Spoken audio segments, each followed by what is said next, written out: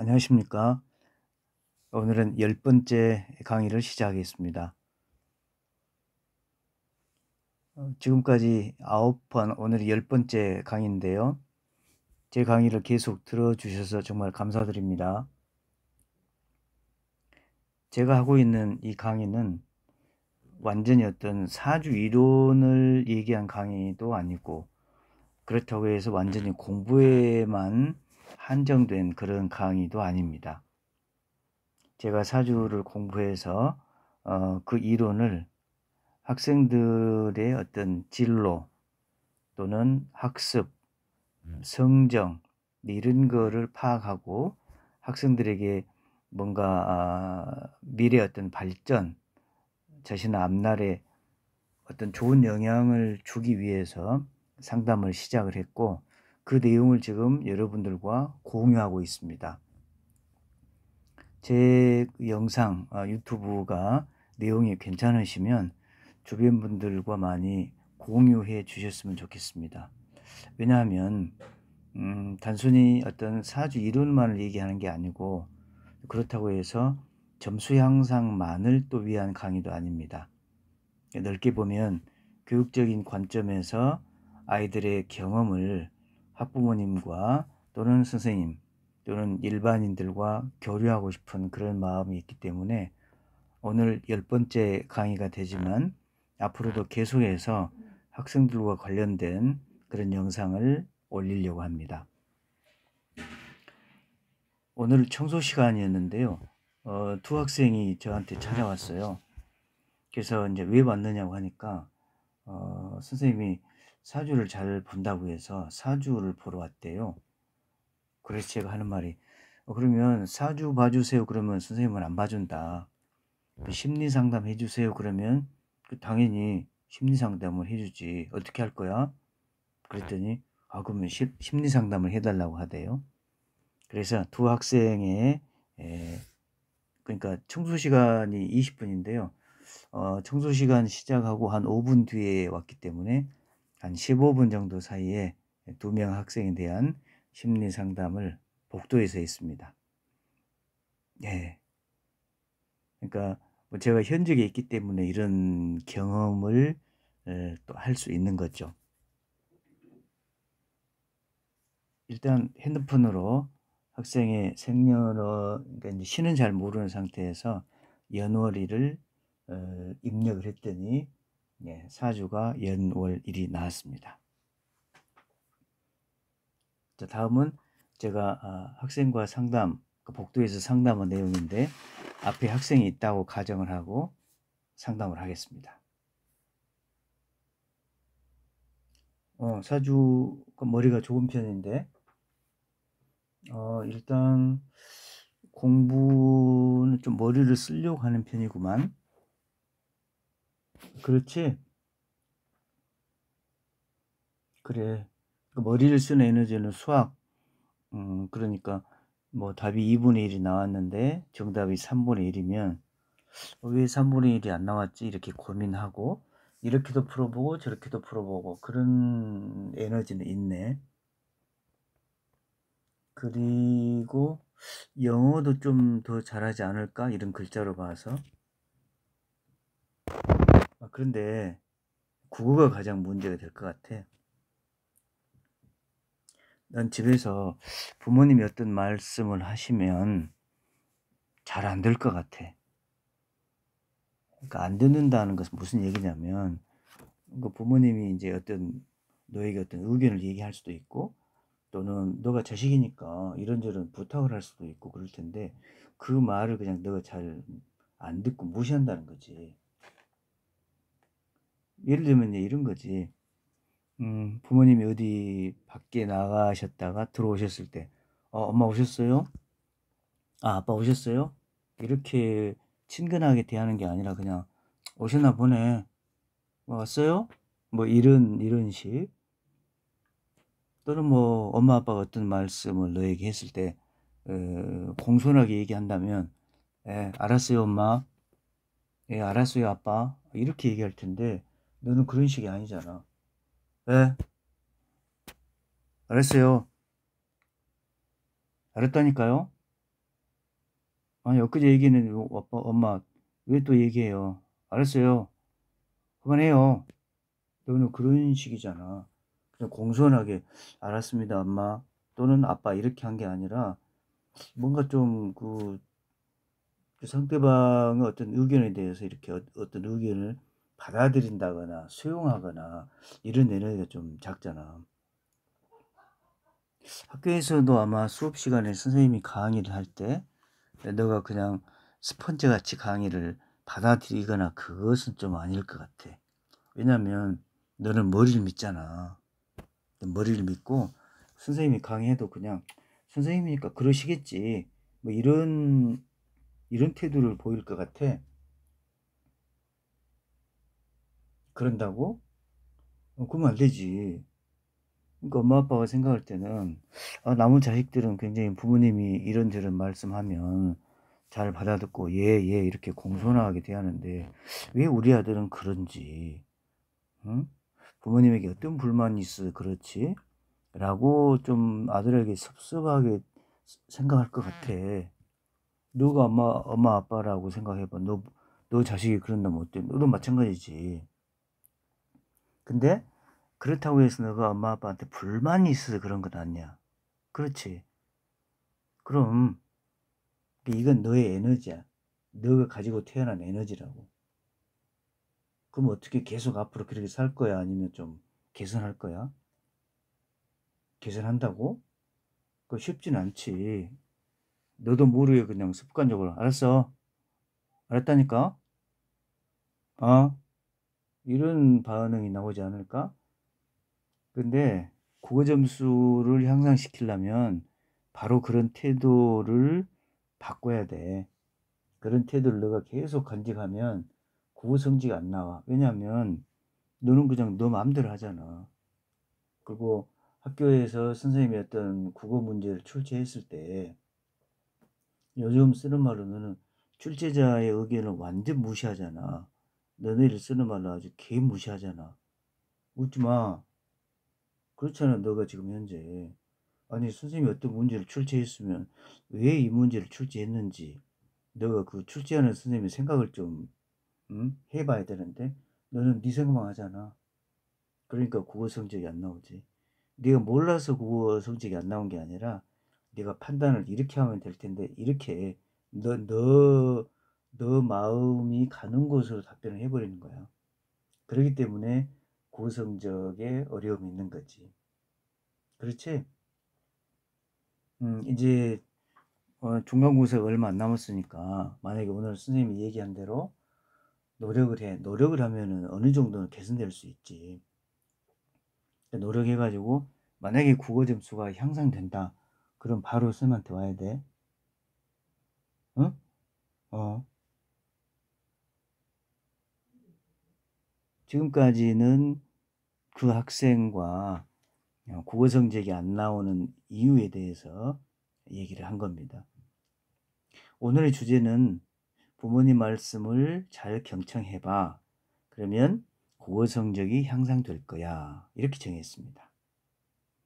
물론 굉장히 당연한 얘기죠. 부모님 말씀을 잘 들으면은 성적 향상이 된다. 너무 당연하게 들릴 수 있는데 구체적으로 얘기하면 국어 과목하고 연결되어 있다는 얘기입니다. 제가 이합전 강의에서 국어를 잘하는 어, 비결이 뭘까에 대해서 강의를 올렸습니다. 국어는 가치 판단하는 문제라고 제가 말씀을 드렸죠. 그래서 그거는 가치 판단을 가치 판단 문제이기 때문에 가치 판단을 어떻게 하느냐에 따라서 주관서 주관이 개입되거나 또는 객관이 개입되거나 이제 그렇게 되겠죠. 자, 이 학생의 사주를 먼저 소개하겠습니다.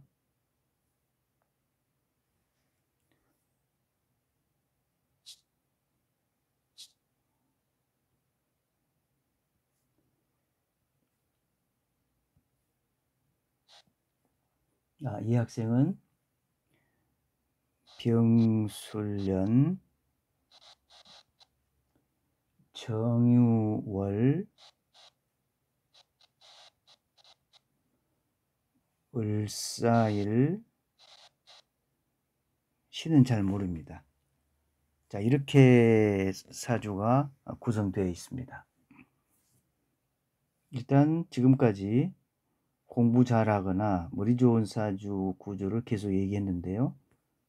자, 다시 한번 복습해 보시죠. 일단 을사 간지가 보입니다. 예, 을사도 물론 이합전에 제가 소개할 때 어, 신미라든지 신묘 신해 뭐 이런 간지와 더불어서 이걸 반대로 해보면 을목과 사유축, 을사, 을류, 을축 이런 간지도 그러죠. 그러니까 겁살, 제살, 천살 이런 간지 구조가 되기 때문에 똑같이 공부를 잘한다 이렇게 생각할 수 있습니다. 그런데 물론 겁살 공통적인 내용은 겁살, 제살, 천살 이게 공통적인 내용인데 약간 또 그 속으로 들어가 보면 신미, 신묘, 신해 이것은 다른 면이 있습니다. 이건 외국어와 연관이 되는데요. 또 다음 시간에 그거는 얘기를 하겠습니다. 일단 그래서 을사간지가 있어서 일단 두뇌가 좋다 이런 생각을 할 수 있습니다. 음, 그리고 지금까지 사, 공부 잘하는 사주 중에 대체적으로 어, 연지를 기준으로 해서 겁제 천살이 사주에 있는지 이거를 확인해 봤는데 대부분 공부 잘하는 학생들은 그런 에, 특별한 어떤 사주 구조, 독창성을 발휘할 수 있는 그런 구조가 있었는데 이 사주를 보면 술년이기 때문에 인후술 삼합을 기준으로 생각을 하면 해자 축이 있어야 되는데 일단 연월일에는 겁제천살이 없습니다. 그러나 밀사간지가 그거를 대치하고 있는 예, 그런 상황이죠. 그 다음에 이제 어, 다른 성향으로 보면 어제 제가 말씀드린 대로 을목을 기준으로 해서 을정 또는 을목을 기준으로 해서 을사 아, 이런 간지가 국리 에너지에 해당이 됐죠. 그러니까 자기 에너지를 국리한다. 자기 에너지를 에너지를 준다 이 말이죠. 자기 에너지를 받는 에너지가 아니라 자기 에너지를 준다. 준다라고 하는 말은 국리한다. 그래서 이리저리 머리를 쓴다. 아, 그렇게 얘기를 했습니다. 그렇다면 이 사주 구성으로 보면 어떤 교과를 나름 잘할 수 있는 성향이 보일까요? 궁리하는 에너지, 뭔가 머리를 이렇게 풀어보고 저렇게 풀어보고 그런 에너지가 궁리인데요. 그렇다면 일단 어, 수학 교과의 어, 예, 수학 교과의 성취가 좋을 수 있는 예, 그런 구조로 보이고 있죠. 그 다음에 을사간지가 상징하는 게 나름 머리가 있다. 그리고 겁제천살은 주로 외국어에 해당이 되기 때문에 수학 영어는 대체적으로 어, 잘 나온 편이다. 지금 1학년들은 아직 모의고사를 안 치렀기 때문에 중학교 성적을 기준으로 얘기를 한다면 수학하고 영어는 어, 중학교 그러니까 뭐 월말고사 정도 되겠죠. 에서 예, 8, 90점대를 유지한다고 했는데 국어 점수가 가장 떨어진다. 이렇게 본인이 얘기를 했습니다. 그렇다면 이 사주에서 왜 국어 성적이 에, 부진할까를 생각해 보면 특성이 일단 아, 보이죠. 첫째로 어떤 특성이 보이냐 하면 연월일에 수기가 전혀 없습니다. 예, 특성으로 보면 연월일에 예, 수기가 전혀 없다 이거죠. 수기가 전혀 없으면 일단 이해력이 좀 부족하기 때문에 지문을 여러 번 읽는다거나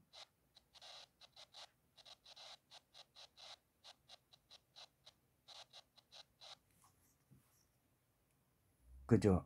한 번 읽어가지고 내용이 파악이 안 되면 지문을 여러 번 읽어야 되죠.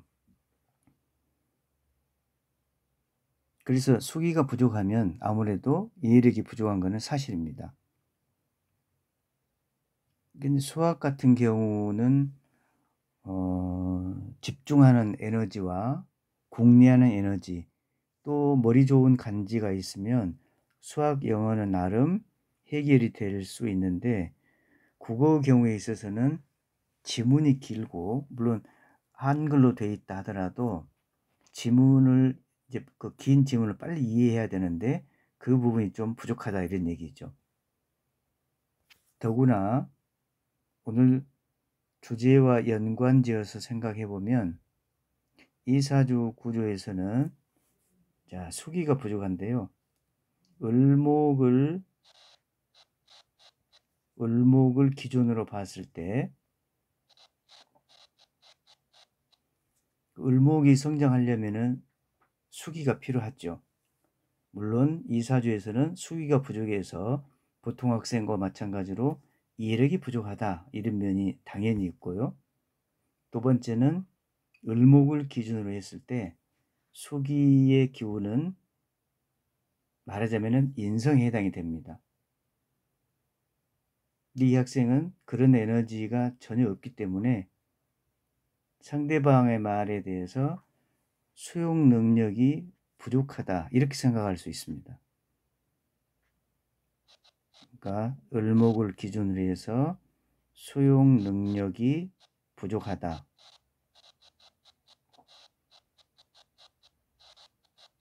이 얘기는 뭐냐면 국어에서 지문이 있을 때 지문을 이해하는 방법이 완전히 자기식이라는 얘기입니다. 그러니까 어, 엊그제 강의했던 내용하고 비슷하죠. 지문을 자기가 이해하면서 지문 속에서 답을 구하는 게 아니라 자기 자신이 구하는 답이 정답이 되는 결론적으로는 그게 오답이 되죠.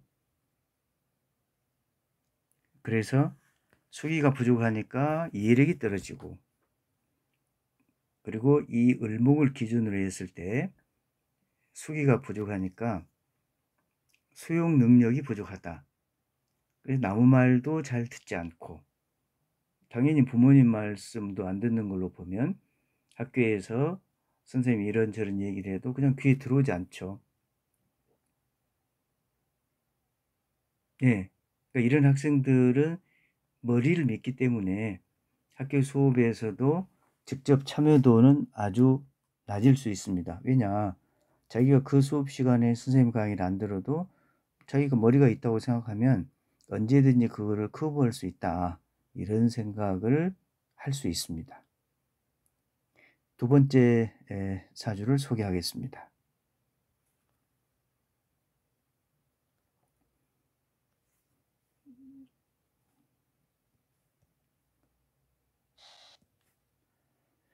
두 번째 사주는 음, 병자 갑오이모 병자년 갑오월 이모일 시는 잘 모릅니다. 자, 이 사주 어, 구조를 보면 지금 제가 강의에서 소개하는 어, 사주는 수능 성적을 기준으로 해서 국어, 영어, 수학에서 한 과목이라도 1등급을 맞는 그런 학생들을 대상으로 주로 어, 사례를 발표하고 있습니다. 물론 이제 어, 약간 그 공부 에너지가 적은 그런 기운이라면 1등급 아니어도 이제 뭐 중간 성적이라거나 그런 학생들을 소개할 텐데요. 당분간은 한 과목이라도 1등급을 맞은 학생들의 사주 구조를 소개할 예정입니다. 마찬가지로 공부 에너지가 얼마나 있는가를 확인해 보면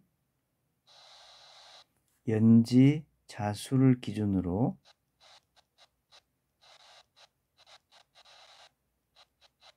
신자진 삼합을 적용하면 오, 오, 병 예, 이런 구조가 역시 겁재천을 이루기 때문에 머리가 일단 좋다. 그런데 지금 오, 오, 오, 병 이렇게 되어 있기 때문에 어, 잿살이 두 개 있고 천살은 아니지만 예, 겁살이 하나 있기 때문에 굉장히 두뇌가 좋다. 일단 그거를 파악할 수 있습니다. 두 번째는 임수를 기준으로 했을 때 임수와 모구 관계 이거는 어제 얘기한 대로 자기의 에너지를 주는 궁리하는 일단 머리를 쓰는 그런 에너지가 있고요. 그리고 임수를 기준으로 해서 오화 또 여기 오화 아, 이런 에너지는 나름 양생처에 해당이 해당이 되죠. 그래서 머리를 쓰거나 양생처가 있거나 이런 구조는 수학을 잘할 수 있는 그런 구조입니다.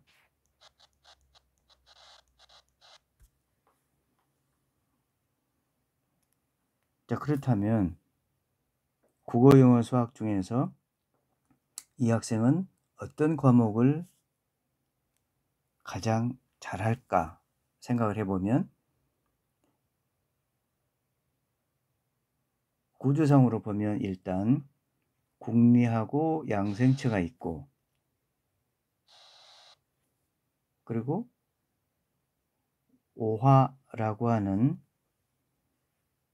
오화 지장간 속에 병기정이 있어서 임수와 기토와 정화 이런 기운들이 임정기 구조가 되면 집중력이 높다.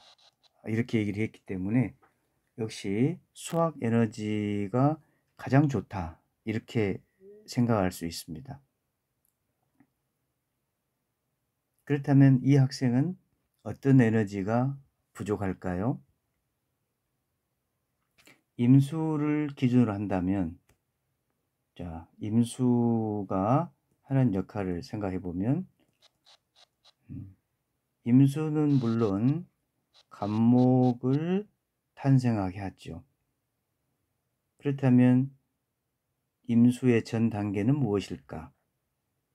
일단 신금이나 또는 뭐 지지, 유금이 임수에 풀려서 그 다음에 감목을 내놓는 그런 과정이기 때문에 임수 입장에서는 감목에게 자기 에너지를 이렇게 쏟는 것은 의미 있는 일이죠.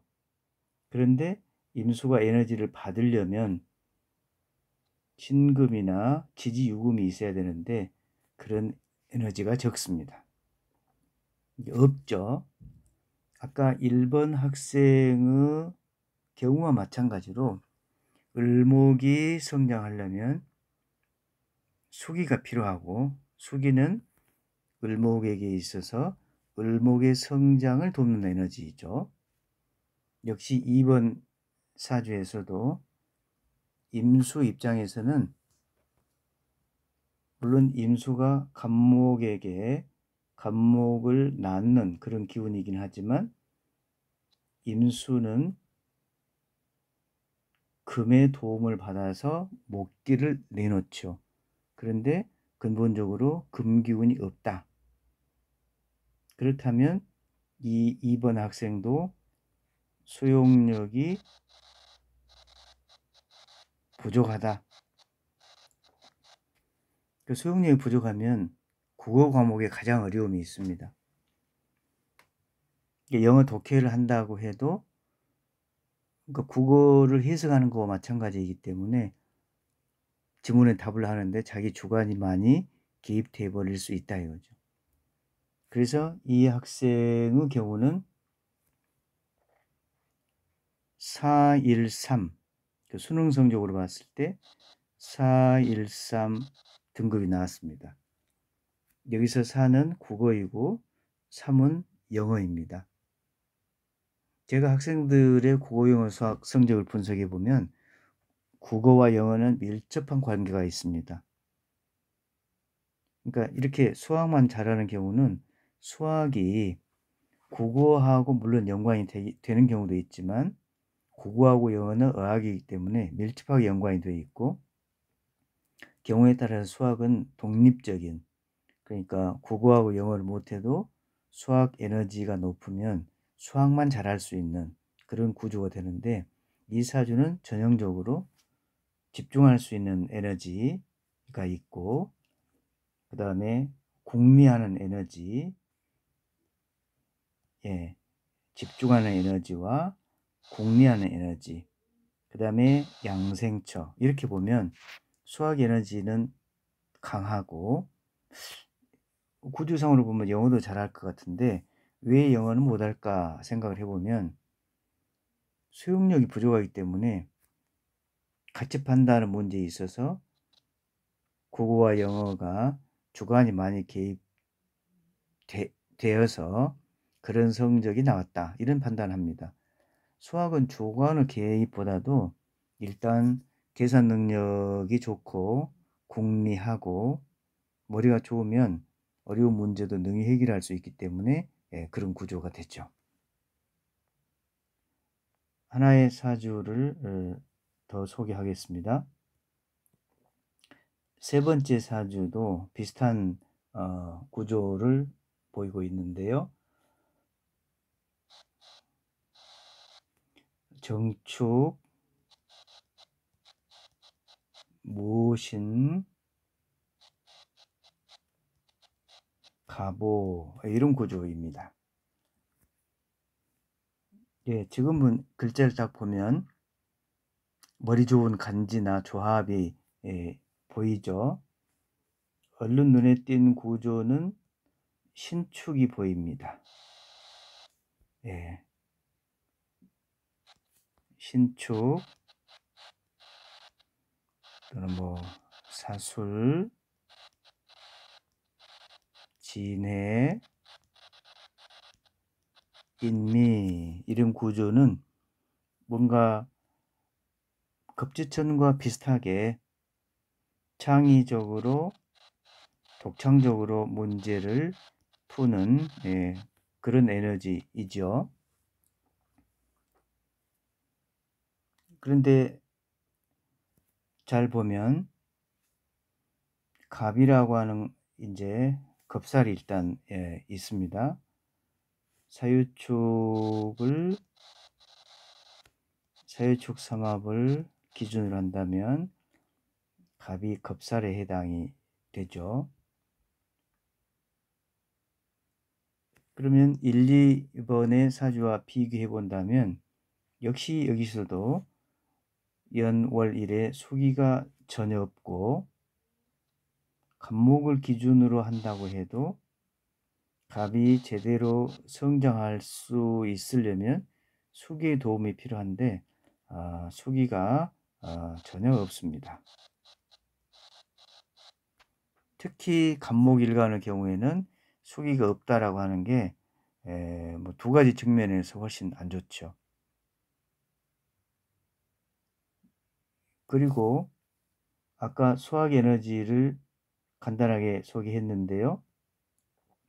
이 구조를 보면 갑, 갑이 모구 관계 이게 양생처 관계이고 갑과 오 관계가 공리 에너지이기 때문에 또는 뭐 정화라든지 오중의 기토 정화 이런 구조가 2번 사주와 마찬가지로 수학을 나름 잘할 수 있는 그런 에너지입니다. 물론 신축이 있기 때문에 고난이도의 어려운 수학 문제도 접근할 수 있죠. 그런데 결정적으로 국어 과목이 약한 이유는 일단은 수기가 부족하다.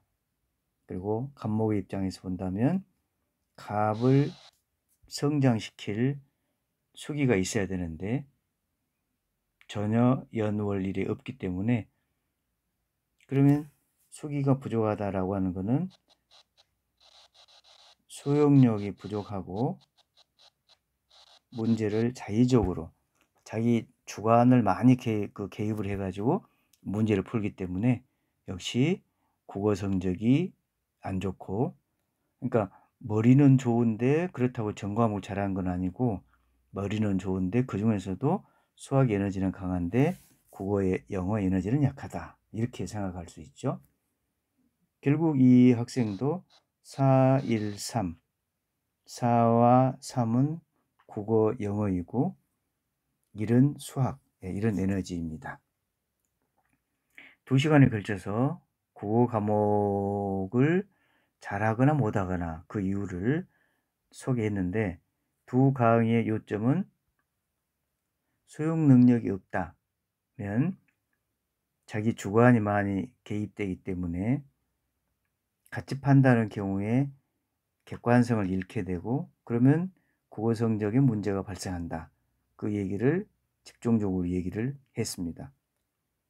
그래서 오늘의 주제는 부모님 말씀을 잘 경청해봐. 그러면 국어 성적이 향상될 거야. 이게 단순하게 하는 말 같지만 조금 다르게 생각해 보면 수용 능력이라고 하는 것은 시험을 볼 때 지문 속에서 답을 찾아내는 거하고 같기 때문에 국어와 밀접한 관련이 있어서 어, 그 내용을 오늘 소재로 정했습니다.